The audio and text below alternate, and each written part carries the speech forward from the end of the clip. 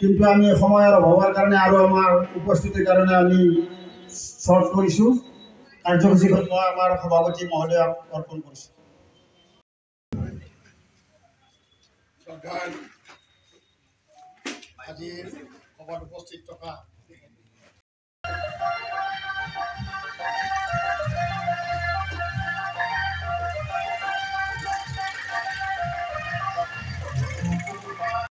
কাৰণ এবাৰ জালুকবাৰী অন্তৰ্ভুক্ত হৈ গ'ল। জালুকবাৰীটো কাম কৰিব লগা নাইয়ে মেজৰৰ লগত যি আঁচনি আহিব বিধিয়াত মেজৰ আহিব আজিয়ে মই শিলান্যাস আছে মোৰ। প্ৰায় ইয়াতে মই ক'লোঁ কি কংগ্ৰেছে যে এটা ছিটো ল'ব পাৰে তেওঁলোকৰ কাৰণে আশীৰ্বাদ হ'ব। এতিয়া সেই ছিটটো তেওঁলোকে চেষ্টা কৰক। আৰু আমি এঘাৰখন ছিটৰ পৰা আমি বাৰখন কৰাৰ কাৰণে আমাৰ সংকল্প লৈছোঁ। আৰু তেওঁলোকে তিনিখনৰ পৰা এখন কৰাৰ সংকল্প লৈছে। এতিয়া কোন শংকিত কোন ভাল থাকিব এইটো আপোনালোকে সিদ্ধান্ত তাৰমানে কি জানে? মই যিখিনি জানো আজি মই অফিচিয়েলি ঘোষণা কৰা নাই। যেতিয়া ৰিং ৰোড হৈ যাব তাতো আৰপি হ'ব তাতো এখন ফ্লাইঅভাৰ হ'ব। মানে লাগিব এটা সময়ত। আমি অকণমান আনঅফিচিয়েল কৈছোঁ। আপোনালোকে সময়ত দেখিব আজি গোৰেশ্বৰ ৰাস্তা বনি হৈ আছে। সময়লৈ অপেক্ষা কৰক ভাল ফলাফল পাব। কাৰণ এইটো এটা সময়ত ব্যস্ত ৰাস্তা হৈ যাব।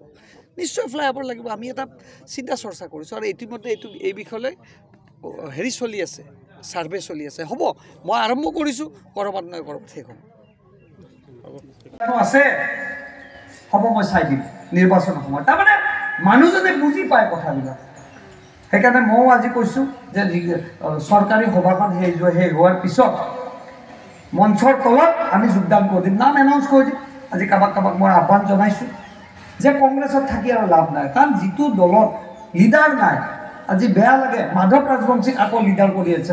এই এসত্তৰতে বীৰ এতিয়া বাসত্তৰ তেসত্তৰ বছৰ বয়সত তেওঁ সাংসদ হ'লে কি কাম কৰিব আপুনি কওক? এইটো বেয়া পাই লাভ নাই নহয়। এতিয়া ডেকা ল'ৰাক সাংসদ দিব লাগিব। ডেকা ল'ৰা এতিয়া মই যিমান দৌৰিম মোৰ দেউতাই পাৰিব নেকি ইমান দৌৰিবতো সম্ভৱ নহয়। প্লাছ আকৌ বি কংগ্ৰেছৰ কোনো মানুহ নাইয়ে কংগ্ৰেছৰ। শেষ ভাঙি ভাঙি চেচ। আজি গুৱাহাটীত কোনো বেয়া পাব নালাগে দলটোৰ প্ৰতি আমাৰ বেয়া ভাৱ নাছিল। সেইটো দলত মই আছিলোঁ। দুখ লাগে চকুৰ আগত দলটো ভাঙি পেলালে।